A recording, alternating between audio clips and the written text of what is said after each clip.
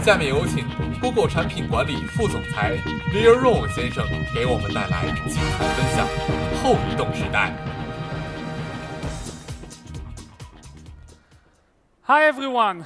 Uh, very excited to be here today in this giant tank with geeks, entrepreneurs, and product builders. And I'm excited because I fundamentally believe that great product builders are changing the world through building products. And thanks to all of you, there's many, many more of those products created today in China than ever before. For me, great products represent progress, change, innovative, functional, beautiful progress and products are destroying barriers, unleashing creativity, unlocking economical progress. And what I'm hoping to do today with you is share some of my journey as a product leader at Google over the past uh, decade in the hopes that it will help you think about your products uh, slightly differently. And because I think about my products as babies, I thought I'll put some of my advice into that context. How do you grow and nurture a baby or a product? So the first thing you do with a baby, how does it come to the world? It starts small and it creates magic. And that's what great products um, are all about. This is Google Maps. When I joined Google and launched my first product almost 10 years ago, started very small. Two countries only, a vast blue ocean between them, no, almost no data, no driving directions, no businesses, but magic. For the first time, being able to browse, pan, zoom very freely on the map. And the reason we were able to do that is by marrying a technical insight and a user insight. The technical insight was for the first time, there was a new technology called Ajax that allowed to do very efficient rendering on the browser client side. So we were able to provide that free browsing. The user insight was that users just wanted to roam freely and browse around and check their geographies in a very quick way. And by marrying the technical insight and the user insight, you truly create magic.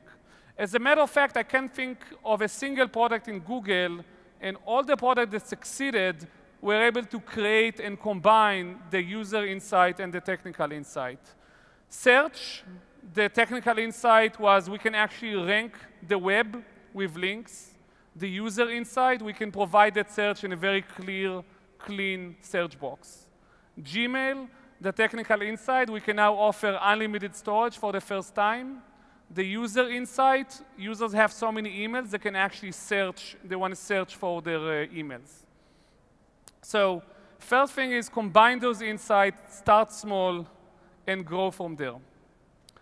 When you want growing like a baby, it's very easy to take baby steps, but real innovation and real growth happens when you encourage your baby or your product to take big steps, to push your baby and product out of your comfort zone. When we launched Google Maps, we wanted to grow it to the next stage by tapping into the millions of users globally and asking them to contribute their local knowledge. Because after all, we're the biggest local experts for our cities, for our neighborhoods.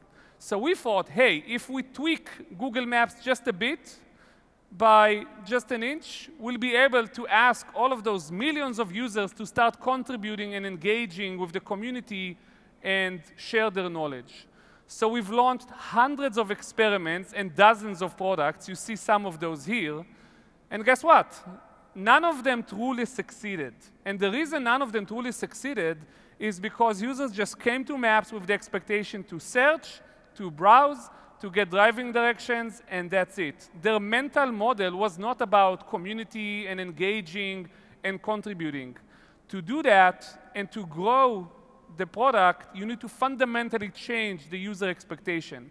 You need to, you need to take your users out of the comfort zone You need to completely rethink the product. So as we were experimenting with all of those ways to tweak Google Maps, in Israel, a great startup called Waze completely rethought the map UI, put people as first uh, citizens on the map, put all those icons, that community feeling, completely reset expectation about users coming to maps. As a consequence, they grew the real community and Google acquired them after a couple of years for a billion users, for a billion dollars.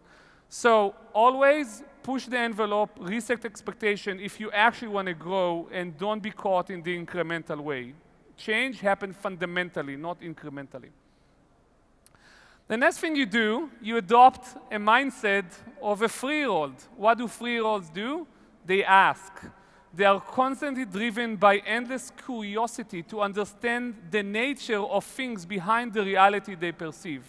So they always ask why as a product leader, you need to ask why on your product all the time.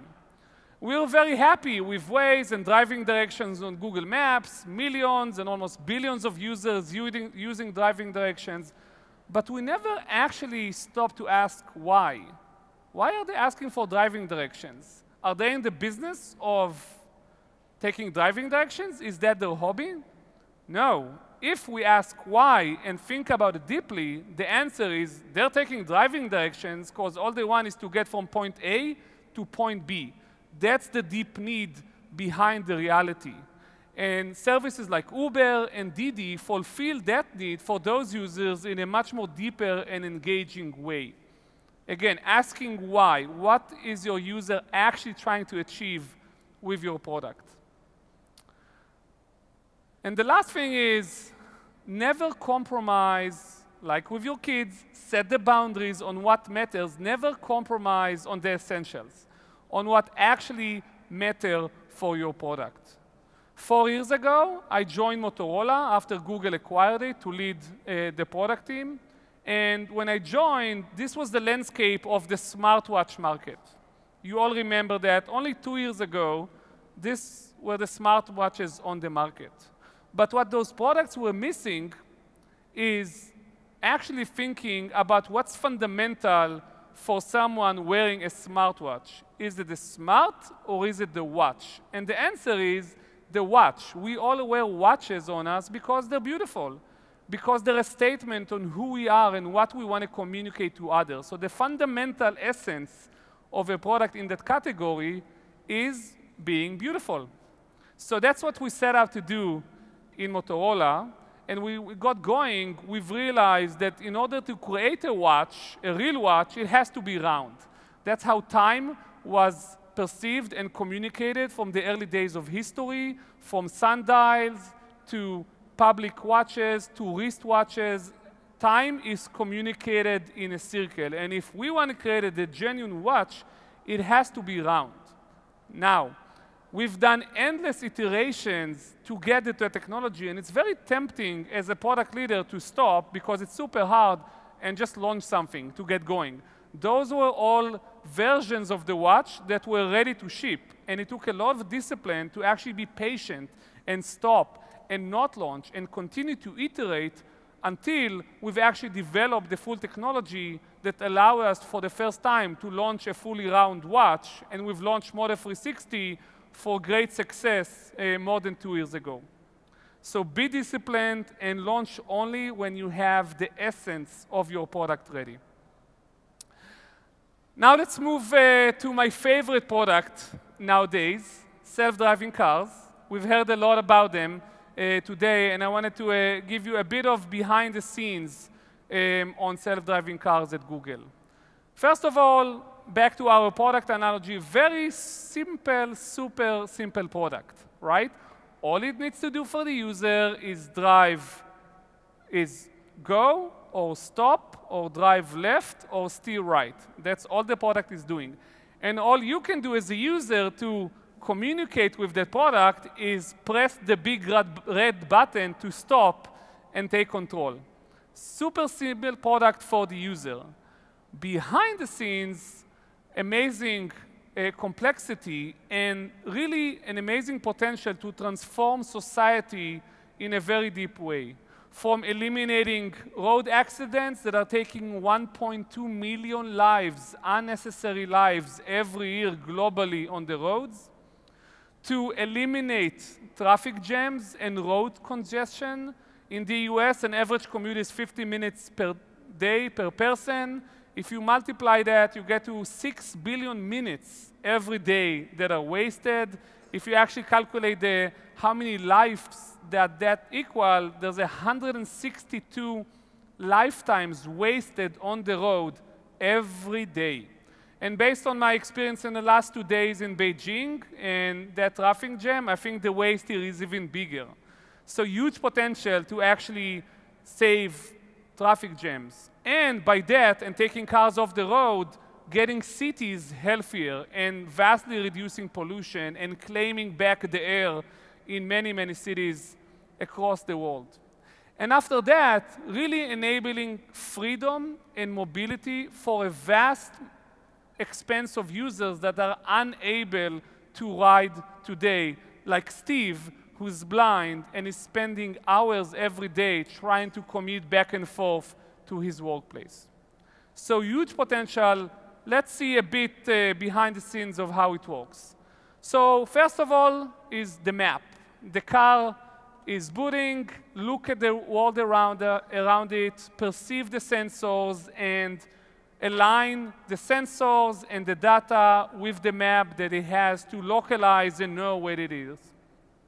After that, the car will perceive the objects around it and identify what they are. In that example, we have some purple boxes for cars, we have a red box for a bicyclist, and if you look all the way in the end, you'll see some orange dots for uh, construction cones.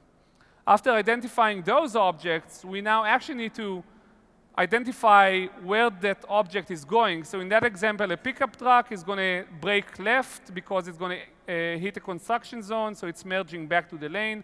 We need to know where it's going. Not only that, we need to know where every car and every object on the road are actually going, which, which is a huge computational challenge.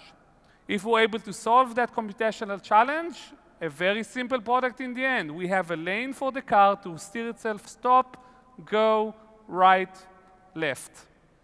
And this is essentially the new map. Map 1.0 was all about Google Maps, relatively static. Map 2.0 is much more dynamic, Waze-like. Map 3.0, the map that we'll need for self-driving cars, is much more high fidelity, real time, always updated, very complex. So if we can play the movie, please. This is how the car perceived the world around, around it. That's some of the laser data. We can see the yellow boxes for bicyclists, the purple boxes for cars. Um,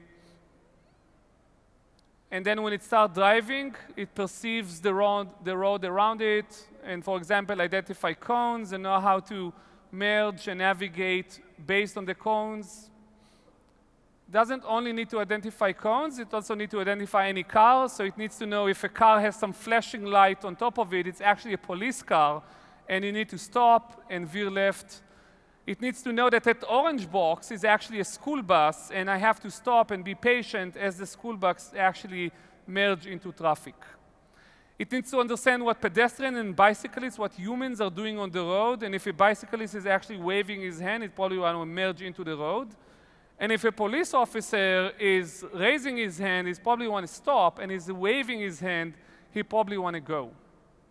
So those cars are learning by sharing that knowledge between them. In the very simplistic example here, the cars will share with each other the new construction zone. Now, all of them know that there's a construction there and they'll be smarter. But they share much more than that. They share a much deeper understanding of every car they've seen on the road, of every pedestrian they've seen on the road, of every object they've ever encountered. So they can all collectively learn and identify what objects will they actually see in the future.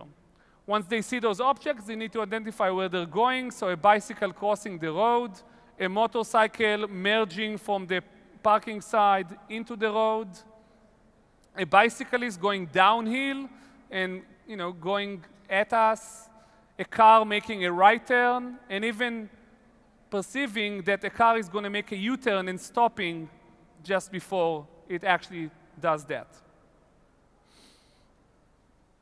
So we can learn a lot of things, but there's always the unexpected um, that could never be actually taught. So uh, if we roll the next video, this is a real encounter of a car um, that drove in Mountain View a few months ago. If we can roll the second video. And what we see here roaming around Mountain View is a woman in a wheelchair chasing a duck in circles on the road.